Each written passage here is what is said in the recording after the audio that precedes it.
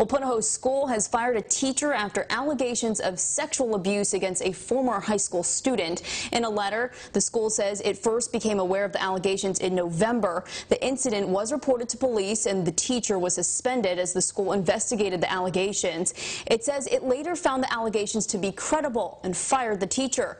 Court records show the teacher has not been charged in relation to the case.